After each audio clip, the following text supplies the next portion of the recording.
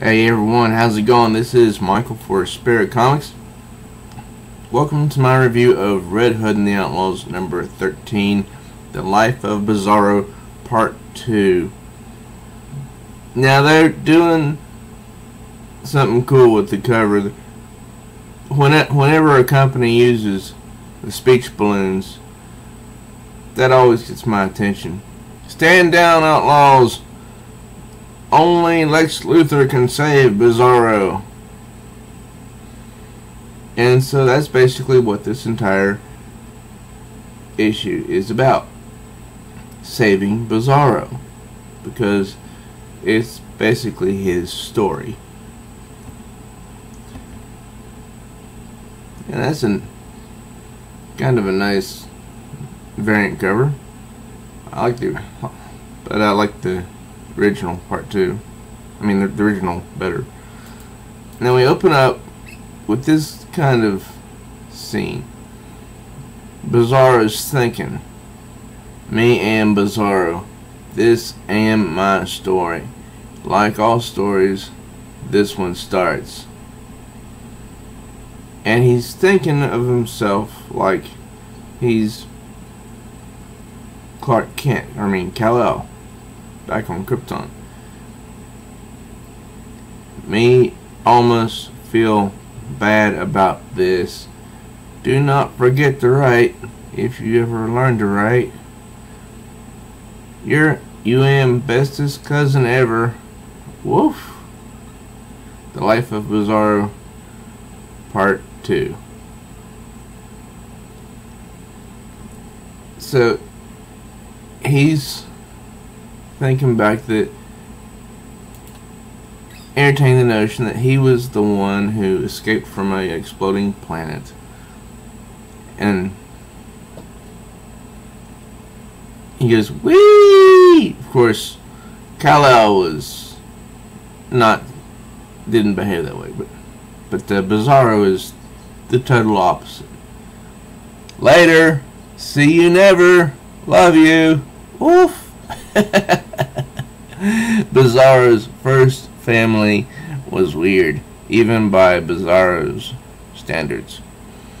But me, guess, being down blown to bits with Krypton am even less fun than floating in space alone. Me had to pass time. So Bizarro thought a lot. Soon me land landed on Earth. Where am break on this thing? That second family. Saints am alive. We call him Clark. We we am call Clark. Because he thinks of everything, you know, in his own speech pattern. Before Am knew it, Bizarro had many friends. Now this is this is this is funny. Let's see, one, two, three, four, four of them out of the six get different names. Cyborg gets kind of a different name, but not quite. And these are the names of his new friends. Wet Wet, Aquaman. Nightlight, Green Lantern. Go-Go, The Flash. Batman. Rope Lady.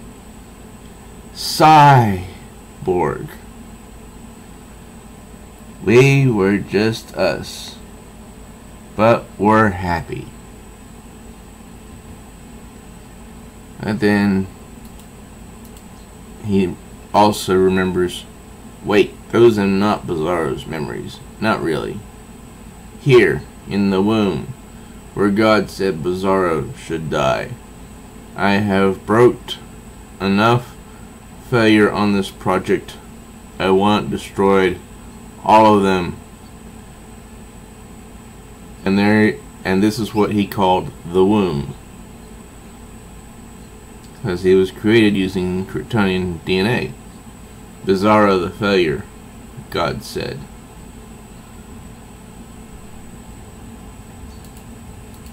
And because he heard, you know, the voice of Lex Luthor, made him think that's God.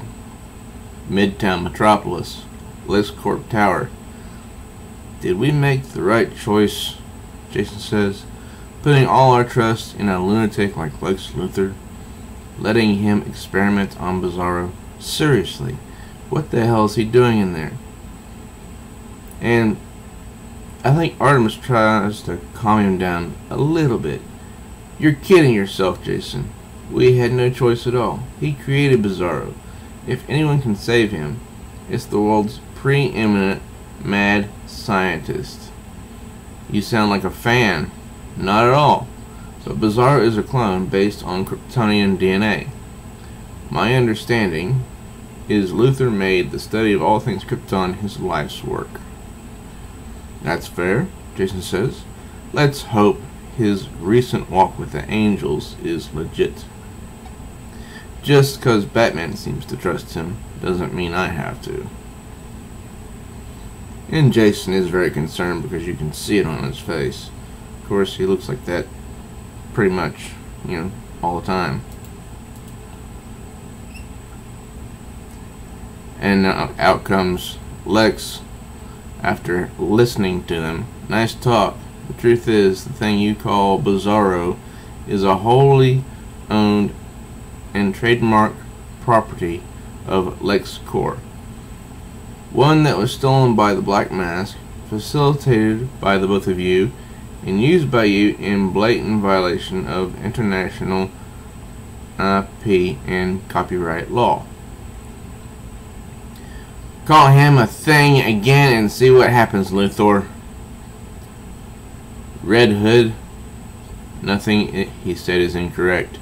Let's hear what this man has to say. Artemis says, almost holding him back. Hmm.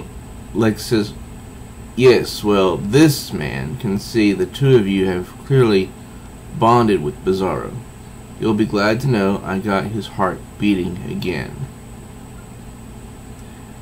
At this point, there is only a 37% chance I can save him. For anyone else, that would be impossible. For me, it's a Tuesday. can we see him? Soon, I'm certain. Until then, we'll leave it to the lawyers to settle the matter of ownership after I've pulled off yet another miracle. Isn't isn't Lex Luthor just so humble? and so they they stay out there talking and Jason starts to blame himself. This is my fault. Bizarro's been pushing himself from day one, trying to make me happy. Flying across the Atlantic, beating up a mountain, taking on Akila in the outer orbit before beating down Solomon Grundy when he should have been home resting. It was too much for his unstable body. And Artemis just flatly says, eh, eh, He's not a pet, Jason. You can't command him to sit and, and stay and heal. He's his own person. He wants to help, and neither you nor I,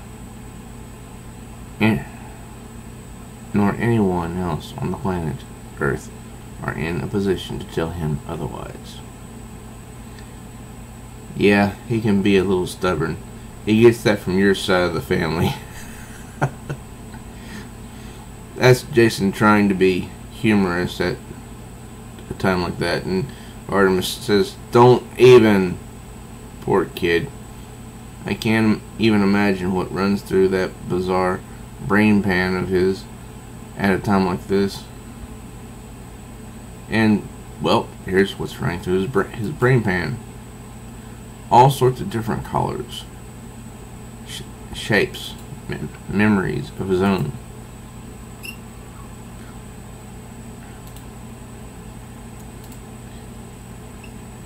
He says, Me won't die, like God said. Me sat in antibiotic fluid and just thought and thought and thought more. Sometimes Bizarro thought inside to his cells. Sometimes Bizarro reached his in his ears, his eye, and eyes to the stars and farther. So many thoughts. Honest, Bizarro almost went crazy with so many thoughts.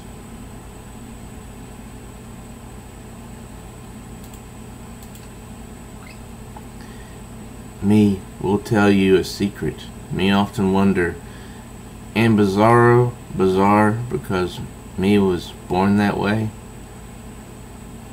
Or would me be normalo if never spent so much time trapped in womb? And that's what he called the womb, you know, that, yeah, that tube. Me remember no air. No air am bad even for Bizarro. Me remember panic. Me remember fear. Then him. Do not know. Did not know what red was yet. But it, it most beautiful thing Bizarro had ever seen. First thing Bizarro ever saw with his own eyes. First reach, first touch, first words spoken to Bizarro. It'll be okay, big guy. Trust me.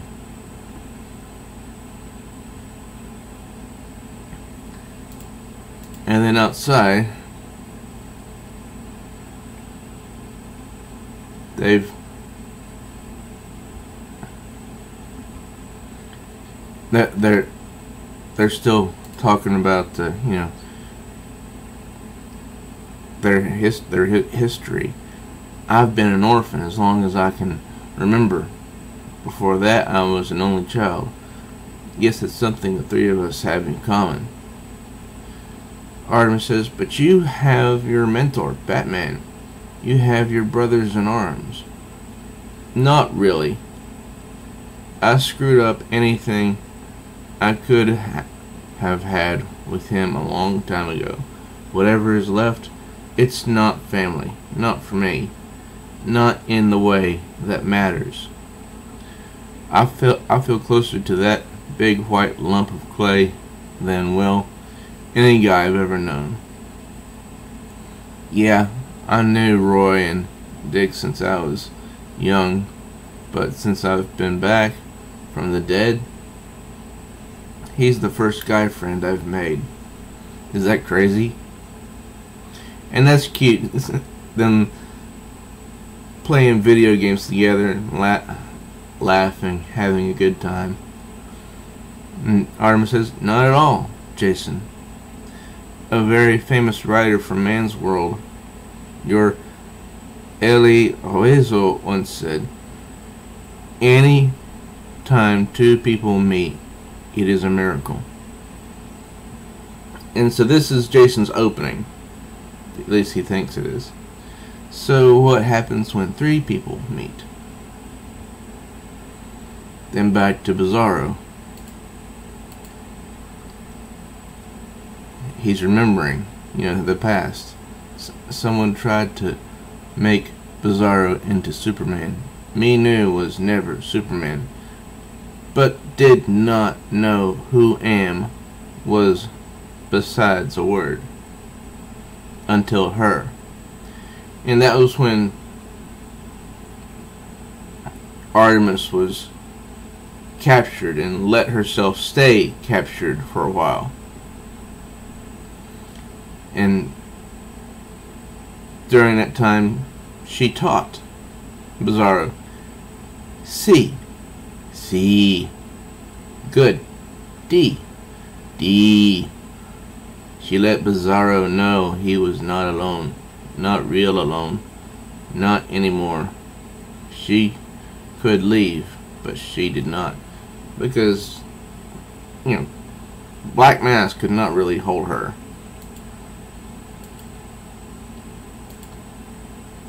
And Artemis reflects on her past. My whole life was built around becoming something. A Shim'Tar, the protector of my people.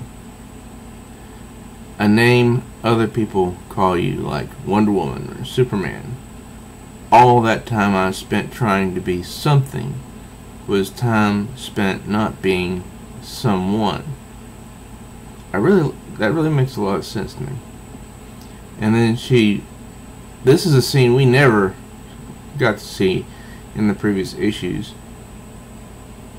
Artemis and Bizarro, frolic, uh, for lack of a better word, frolicking in a fountain. But Bizarro, with him, I've learned to be, to be in the moment, to be me. And she looks down, and it's it's Jason's turn to put his hand on her back in comfort.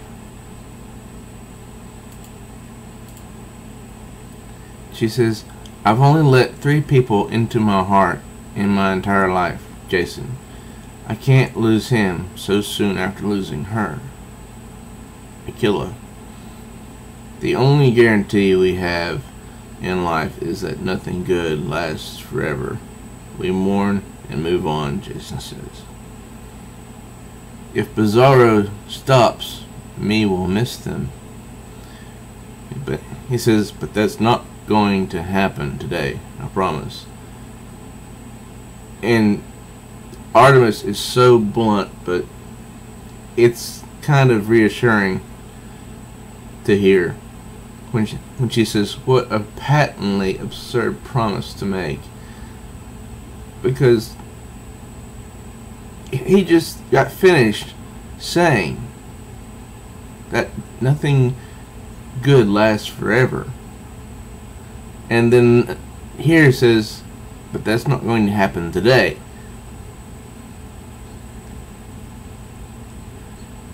And then he makes a, he, he he makes his move, or at least tries to.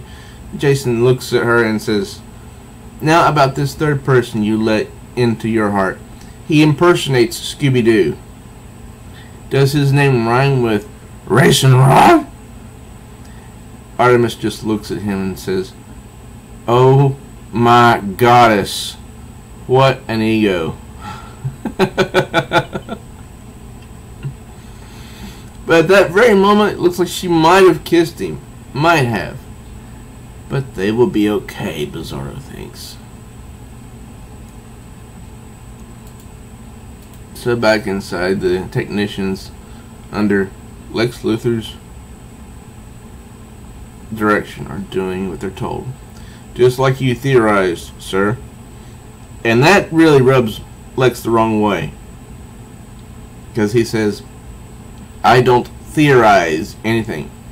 Yes, sorry, as you definitively posited, the clone's body had a counterintuitive reaction to the kryptonite ray, even at a micronic dosage. As impossible as it seems. The kryptonite is healing the subject. Clear the room, Lex says. But, sir. Yes, sir, of course. Right away, Mr. Luthor. Bizarro, Lex says. Do you remember me?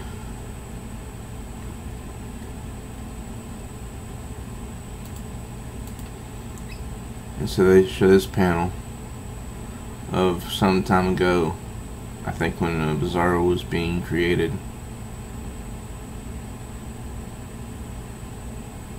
No, you're not him.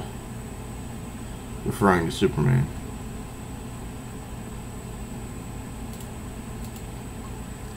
It says kryptonite injected into Superman's veins would kill the alien instantly. But you're the genetic opposite of him. So this should save your life instead. There was nothing I could do to help my friend. And I'm not really sure who he's talking about right here. He was murdered before he was in the deterrative state you are in now. You're going to get the chance he never had. Do not screw it up. And that seems kind of confusing. But maybe maybe Lex is talking about something else. Later, you're not smiling. It must be bad news. Actually, this is me smiling. Your friend is going to be fine. After a brief period of adjustment, that sounds unnecessarily cryptic. Not at all. It will become self-evident when you see him. Bizarro is no longer of any use to me. I have had my lawyers draw up the papers giving you total custody. Out of the kindness of your heart, I suppose, Jason says. And Lex says this, Nothing I do is out of the kindness of my heart. Thank you, Mr. Luthor. And so they part ways and start walking to find Bizarro. As if that won't come back to bite us on the ass someday. We'll deal with it, says. For today, I'm just glad Bizarro is back. And he's no longer on the table. He's standing up and whistling. So Jason walks up behind him, asks if he's okay. And if you notice there, that's glasses on his face. So we're about to see something. This is the same person, Bizarro. Jason, Artemis, what an absolute pleasure to see you again, my compatriots. While I am grateful for Lex's efforts on my behalf, I feel totally at ease saying I look forward to returning to our collective domicile. Whoa, did you see that? Shall we? Both Artemis and Jason in total shock. Seriously, I need a minute. Okay, be here next issue when Red Hood and the Outlaws becomes Bizarro and the Outlaws. That was a slow read, but excuse me. That that that was not a slow read, but it was a kind of a slow issue. But there wasn't any action because it was building up to something. And it, it, it was just basically focused on showing the emotion and Bizarro becoming self-aware again, I believe. So, what did you guys think about it? Leave your comments down below for me. I am Michael for Spirit Comics. Please do subscribe to my channel if you're new. And also smash the notification bell like She-Hulk so you'll be notified of all new uploads. And please do like and share this video with others that might enjoy it as well. Till next time, true readers.